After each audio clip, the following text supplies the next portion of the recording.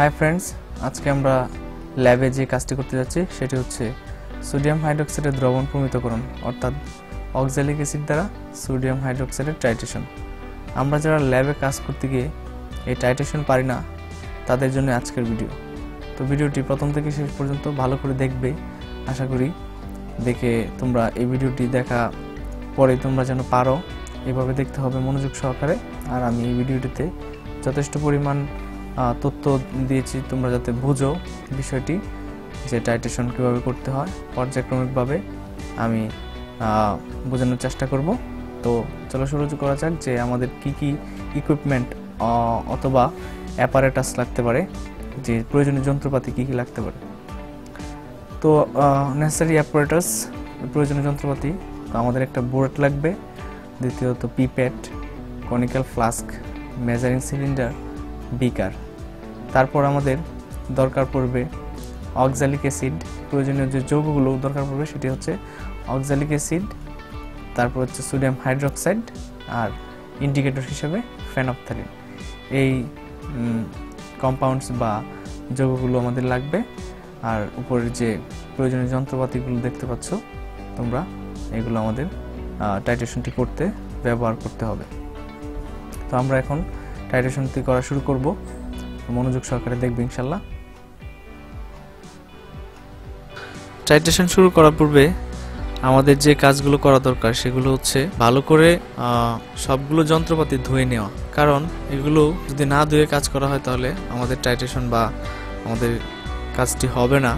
আর সবগুলো ধোয়ার কাজই ডিস্টিল কাজই করতে গেলে ডিস্টিলেটর ব্যবহার করতে হয়। ল্যাবরেটরিতে নিয়মই হচ্ছে যে যে কোনো জিনিস ধুতে হবে ডিস্টিলেটর দিয়ে। তো আমরা কনিক্যাল ফ্লাস্কটি ধুয়ে নিলাম। এখন আমরা মেজারিং সিলিন্ডারটিও ধুয়ে নিচ্ছি। দশ এম মাপার জন্য এই মেজারিং সিলিন্ডারটি খুব দরকার। আমরা এটিও ডিস্টিল ওয়াটার দ্বারা ধুয়ে নিচ্ছি। এখন আমরা অক্সালিক অ্যাসিড দশ এম মেপে নিব।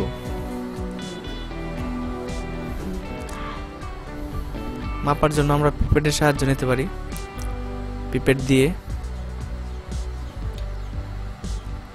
আমরা অক্সালিক অ্যাসিড নিয়ে নিচ্ছি। আমাদের দরকার পড়বে দশ এম এল অক্সালিক অ্যাসিড মাপের কাজটি সূক্ষ্ম সূক্ষাতি সূক্ষ্ম হতে হয়, কারণ খুব কম পরিমাণে মাপার কাজগুলো করা হয়। এখানে আমরা পিপেটের সাহায্যে এই যে পিপেটটি ব্যবহার করছি, এটি হচ্ছে আসলে পাঁচ এম এর তাই আমরা দুইবার নিচ্ছি আর কি। দুইবার পাঁচ এম এল পাঁচ এম এল দশ এম এল মেজারিং সিলিন্ডারে নিয়ে। দশ এম এল অক্সালিক অ্যাসিড নেওয়ার পর আমরা কনিক্যাল ফ্লাক্সে ইন্ডিকেটর হিসেবে যুক্ত করছি ফেনফতালিন কয়েক ফোঁটা, দুই ফোঁটা অথবা তিন ফোঁটা ফেনফতালিন দিয়ে দিলাম। এখন আমরা বুরেটটিকে সোডিয়াম হাইড্রোক্সাইড দ্বারা পূর্ণ করব নির্দিষ্ট দাগ অনুযায়ী। পূরণ করার পরে আমাদের টাইট্রেশন শুরু করতে হবে আর কি। বুরেটটি পূর্ণ করে নিলাম এবং টাইট্রেশন শুরু করলাম। আস্তে আস্তে কয়েক ফোঁটা করে দিতে শুরু করলাম। বুলেটের যে নির্দিষ্ট চাবি রয়েছে কনিক্যাল ফ্লাক্সের মধ্যে ফুটায় ফুটায় এখন সোডিয়াম হাইড্রোক্সাইড ফেলতে হবে আমাদের। নির্দিষ্ট রং পরিবর্তন যখন হবে তখনই আমরা এই বুলেটটিকে অফ করে দিব। আর বর্ণ পরিবর্তনের আগ পর্যন্ত আমাদের ফুটায় ফুটায় সোডিয়াম হাইড্রোক্সাইড ডালতে হবে। এইভাবে তিনবার পাট নিতে হবে আমাদেরকে। আমরা একবারই করব। রং পরিবর্তন করা পর্যন্ত আমরা বুলেটটি অফ করে দেবো। ইয়াস আমাদের রং চলে রংটা বেশি পরিবর্তন হয়ে গেছে। এত বেশি রঙের দরকার নেই আমাদের। এইভাবে আমাদের তিনবার পাট নিতে হবে। তিনবার পাট নিয়ে খাতায় লিপি- লিপিবদ্ধ করতে হবে এবং দেখতে পাচ্ছি যে এখানে ওয়ান টু থ্রি তিনবার আমরা নিয়েছি। কত? অক্সালিক অ্যাসিড দশ এম করে। অক্সালিক অ্যাসিড দশ এম তিনবার করে নিয়েছি আমরা। তো তারপর পাট পাট নিলাম যে বুলেটে সোডিয়াম হাইড্রোক্সাইড কতটুকু লেগেছে আমাদের? তো প্রথমবার চব্বিশ দশমিক চার, দ্বিতীয়বার বিশ দশমিক দুই তৃতীয়বার বিশ দশমিক দুই। তিনটার গড় হিসাব করলে এখানে, আর এখানে পার্থক্য তো আছে। আমরা যেহেতু প্রত্যেকবারেই বোর্ডেরটিকে পূর্ণ করে নিয়েছিলাম এর জন্য পার্থক্য যা পাঠ এসেছে আমরা তাই। তাই তারপরে এই তিনটা জিনিসকে আমরা যোগ করে তিন দিয়ে ভাগ করলে তার গড় পাওয়া যায়। বিশ দশমিক তিন। এখন আমাদের বিশ দশমিক তিন চলে আসার পর সোডিয়াম হাইড্রোক্সাইডের ঘনমাত্রা বের করতে হবে। যেহেতু এখানে আমরা উত্তর দিয়ে রেখেছি, কিন্তু আসলে উত্তরটি আমরা আরেকটি পেজের মধ্যে করেছিলাম ওইটা আসলে এখানে লেখা হয়েছে। তো কীভাবে এটা আসছে আমরা আরেকটি পেজে চলে যাচ্ছি, ওইখানে দেখতে পারব আমরা। হ্যাঁ। দ্বিতীয় পেজটিতে আসার পর সংগঠিত বিক্রিয়া দেওয়া হয়েছে যে অক্সালিক অ্যাসিডের সাথে সোডিয়াম হাইড্রোক্সাইডের বিক্রিয়ায় সোডিয়াম অক্সালেট এবং পানি উৎপন্ন হয়েছে।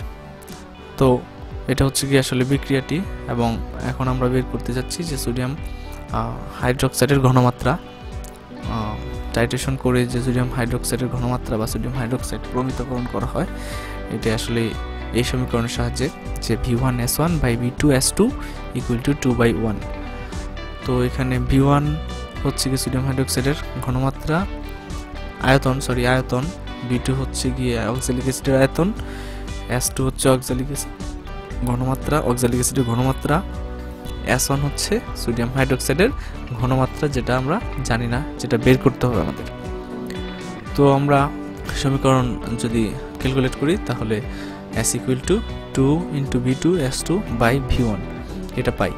তাহলে আমরা সোডিয়াম হাইড্রোক্সাইডের ঘনমাত্রা বের করতে পারব। যেহেতু এস ওয়ান হচ্ছে সোডিয়াম হাইড্রোক্সাইডের ঘনমাত্রা।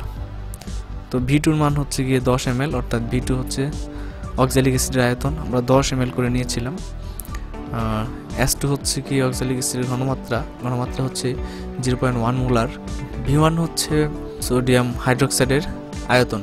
তো সোডিয়াম হাইড্রোক্সাইডের গড় আয়তন হচ্ছে গিয়ে বিশ দশমিক তিন, যা আগের পেজে আমরা দেখেছি। এই জিনিসটাকে এখন যদি আমরা ক্যালকুলেট করি, আমাদের ক্যালকুলেটর দিয়ে, তাহলে কত মোলার ঘনমাত্রা আসে? Zero point zero nine eight five অর্থাৎ এই ছিল সোডিয়াম হাইড্রোক্সাইডের ঘনমাত্রা।